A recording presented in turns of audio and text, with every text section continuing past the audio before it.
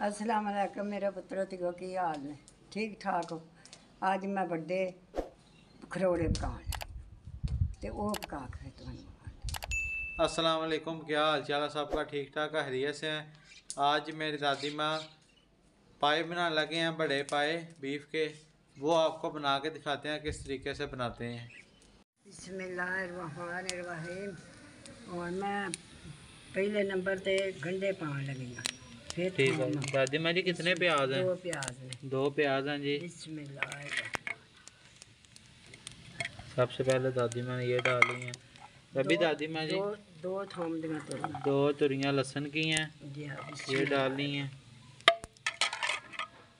इसके बाद दादी में क्या डालना? है बाद में पाए डालने लगे हैं जी। बड़े पाए दादी में डालने लगे हैं।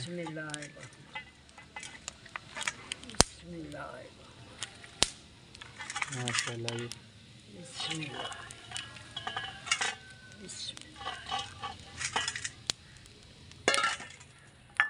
और दादी माँ जी इसके बाद क्या डालना है? मरचा टमाटर। दो मरचा ठीक है जी। दो टमाटर। दो टमाटर हैं और तीन दो से तीन सब्ज़ मिर्चें हैं। इसके बाद एक चम्मच हल्दी है एक चम्मच नमक है एक मोटी इलायची है एक दालचीनी का टुकड़ा है तीन से चार अदद लौंग है। और दादी माँ ये अभी क्या डालने लगे हैं? मरचा दादर दूध आधी चम्मच सुरख मिर्चें हैं और आधी चम्मच सुरख दादर मिर्च। है पानी जे ये खुला पानी है जी। ये मैं छे छे पता च नहीं ठीक है जी खुला पानी डालने लगे हैं दादी माँ। बिस्मिल्लाह ये डाल ली है जे आते ਹੁਣ ਤੱਕਣ ਦੇ ਕੇ बिस्मिल्लाह ले जी हमने हंडिया ऊपर रख ली है दादी माँ जी इसको कितना टाइम लग जाएगा हंडिया में ਇਹ ਪਤਾ ਜੇ ਜਿਹੜਾ ਕਿ ਡਾਢੇ ਹੁੰਦੇ ਨੇ ਖਰੋੜੇ ਤੇ ਹੁੰਦੇ ਹੋਏ ਤੇ ਚੁੱਲ੍ਹੇ ਦੇ ਉੱਤੇ ਜਿਹੜਾ ਦੇਰ ਨਾਲ ਕੋਈ 2-3 ਘੰਟੇ ਲੱਗ ਜਾਂਦੇ ठीक है जी ਤੇ और ਜੇ ਦੂਜੇ ਚੁੱਲ੍ਹੇ ਤਰ ਗਏ ਫਿਰ ਤੇ ਚਲੋ ਘੰਟੇ ਦੇ ਵਿੱਚ अगर दादी माँ जी प्रेशर कुकर में रखें तो ਉਹ ਫਿਰ ਜਲਦੀ ਹੋ ਜਾਂਦੇ ਨੇ उसमें भी घंटा डेढ़ लग जाता है ਘੰਟਾ ਡੇਢ ਲੱਗ ਜਾਂਦਾ ਹੈ ठीक है जी हंडिया में हमने रखे हैं इसमें दो से तीन घंटे लगेंगे। आहिस्ता आहिस्ता आग पे हो जाएँगे ये।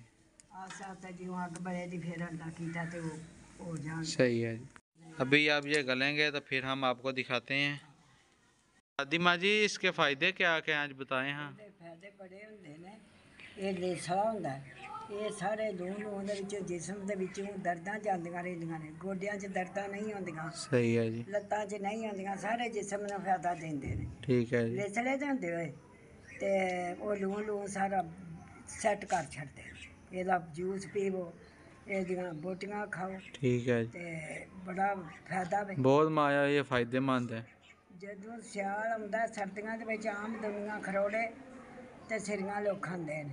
ਦਿਮਾਗ ਵਾਸਤੇ ਸਿਰੀ ਚੰਗੀ ਹੁੰਦੀ ਹੈ ਤੇ ਖਰੋੜੇ ਜਿਹੜੇ ਨੇ ਗੋਡੇ ਗੋਡਿਆਂ ਵਾਸਤੇ ਲੱਤਾਂ ਵਾਸਤੇ ਸਾਰੇ ਜੋੜਾਂ ਵਾਸਤੇ ਠੀਕ ਹੁੰਦੇ ਨੇ सही है जी बहुत ये फ़ायदेमंद होते ਬੜੇ हैं ਫਾਇਦੇਮੰਦ ये दादी माँ जी बुज़ुर्गों के लिए भी बहुत फ़ायदेमंद है ਆ ਬੁੱਢੇ ਵਿਚਾਰੇ ਜਿਹੜੇ ਨੇ ਉਹਨਾਂ ਵਾਸਤੇ ਸ- ਫਾਇਦਾ ਹੈ ਉਹਨਾਂ ਨੂੰ ਨਾ ਖੰਗ ਨਾ ਖੰਗਾਰ ਉਹ ਨਹੀਂ ਆਉਂਦੇ ਪਰ ਹੁਣ ਅਹ, ਮਸਕੀਨ ਬੰਦੇ ਗਰੀਬ ਵਿਚਾਰੇ ਨਹੀਂ ਵੀ ਲੈ ਕੇ ਖਾ ਸਕਦੇ ਦਿਲ ਤੇ ਸਭ ਦਾ ਰੱਬ ਨੇ ਇੱਕੋ ਜਿਹਾ ਬਣਾਏ ਆ बिल्कुल जी ਤੇ ਉਹੀ ਤੂੰ ਮਹਿੰਗ ਭਾਈ ਤੇ ਦੁਨੀਆ ਵਿਚਾਰੀ ਆਪਣੇ ਦਾਲਾਂ ਤੋਂ ਤੰਗ ਹੈ ਤੇ ਖਰੋੜੇ ਲੈ ਕੇ ਕੌਣ ਖਾਏ ਤੇ ਵਹੀਂ ਤੇ ਫਿਰ ਵਡੇਰਿਆਂ ਬੰਦਿਆਂ ਵਾਸਤੇ ਵਧੀਆ ਨਾ ਸਾਰਾ ਖਰੋੜੇ ਜਿਹੜੇ ਨੇ।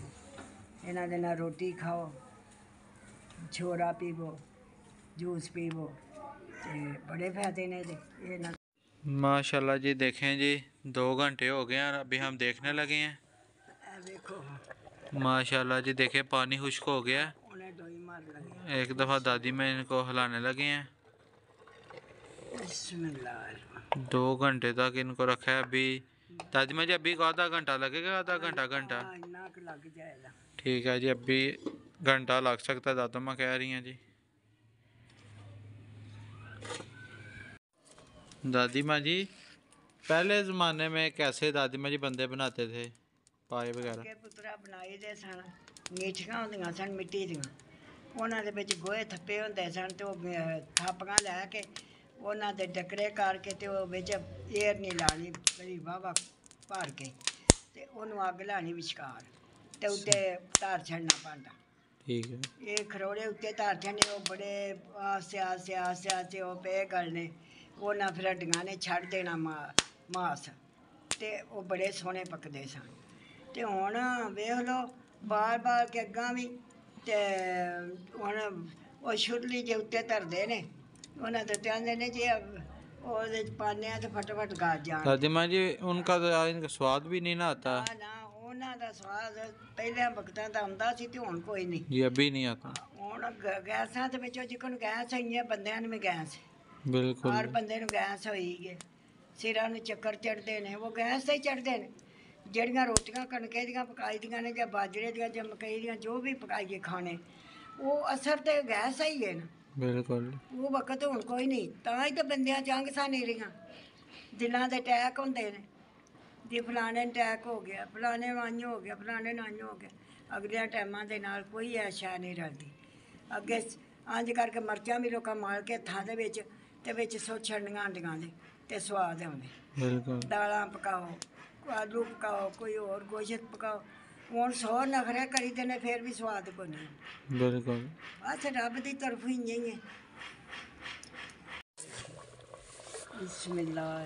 दादी माँ जी अभी इसका पानी खुश करना है? हाँ। देखें जी माशाल्लाह जी गाल चुके हैं। सही है जी। फिर ठीक है जी। देखें जी माशाल्लाह जी गल चुके हैं। और अभी दादी माँ कहते हैं इनका पानी खुश्क होता है तो फिर ऑयल डाल के इनको भूनना है। और फिर चाहे जेडी को मासा कमी है ना ये फिर वो जरा पानी पा देना शोरबे वाला वो फिर ठीक है। सही है जी। दादी माँ जी पानी खुश्क हो गया? ठीक है जी अभी दादी माइल डालने लगे हैं। दादी माँ जी कितना ऑयल है? एक कप। एक कप ऑयल है जी।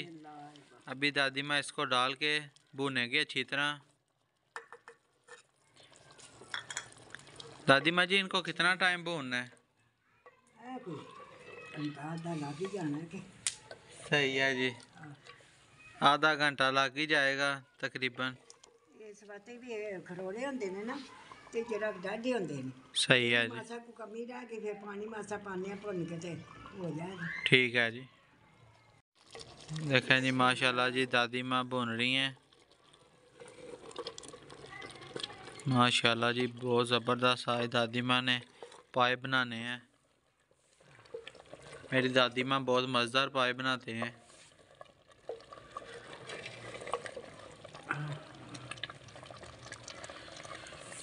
और साथ में दादी माँ ये क्या डालने लगे धनिया?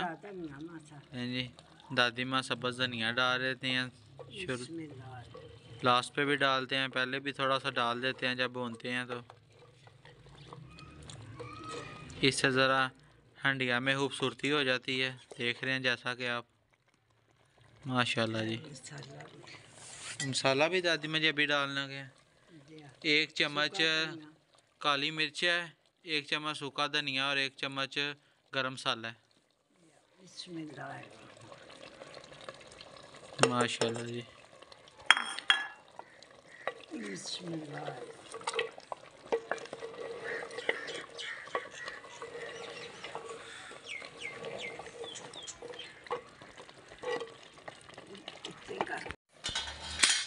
देखें जी, माशाल्लाह जी, कितना ज़बरदस्त दातिमा पाए बना रहे हैं। माशाल्लाह जी। देखें जी, माशाल्लाह जी, भुन गया अभी दादी माँ पानी डालने लगे हैं। दादी माँ जी कितना पानी डालना है? सही है। जितना ज़्यादा शोरबा करना, उतना पानी डाल सकते हैं। ठीक है जी। जितना आपका दिल करे, आप उतना शोरबा बना सकते हैं।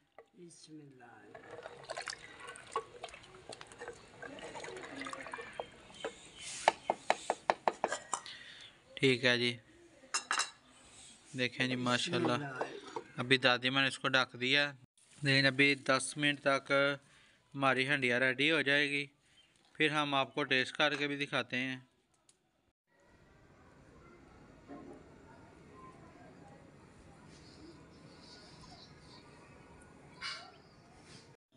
अच्छा तो गाय अभी हम टेस्ट करने लगे हैं। टेस्ट करके आपको बताते हैं कैसे बने हैं। बसमीम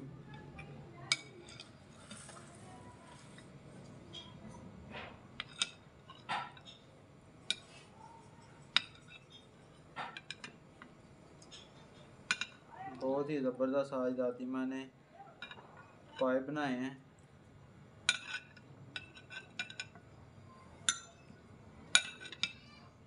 नहीं दादी, मैं टेस्ट करें बिस्मिल्लाहिर्रहमानिर्रहीम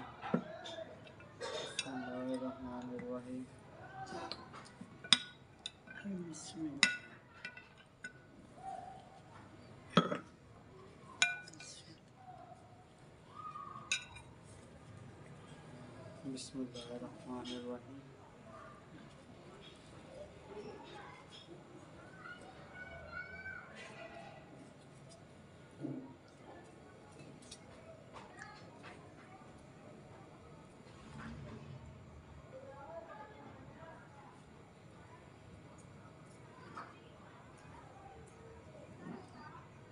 बहुत माशाल्लाह ज़बरदस्त और टेस्टी बने हैं दादी माँ जी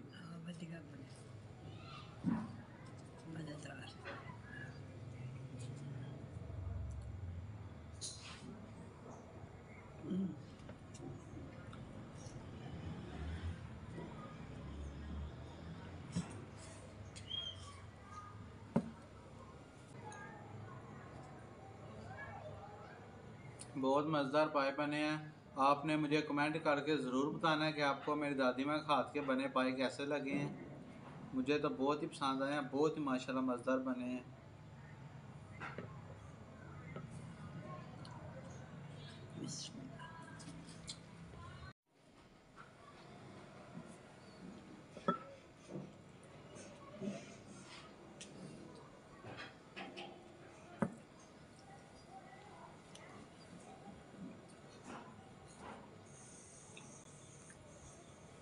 बहुत ही दादी मेरी मज़ेदार बने हमने तीन घंटे लगाए हैं, बहुत ही ज़बरदस्त गल चुके हैं।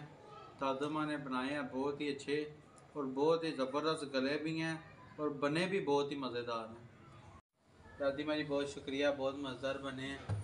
अल्लाह ताला आपको सेहत तंदरुस्ती दे। आमीन आमीन।